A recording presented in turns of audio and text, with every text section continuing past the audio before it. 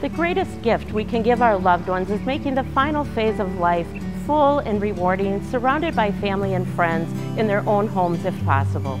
This gift is provided by hospice. Hospice allowed my husband Jim to be cared for in his own home, maintaining his dignity during the final stage of his illness. Caring for my husband Jim in our home was a gift, not only for him, but for everyone in our family.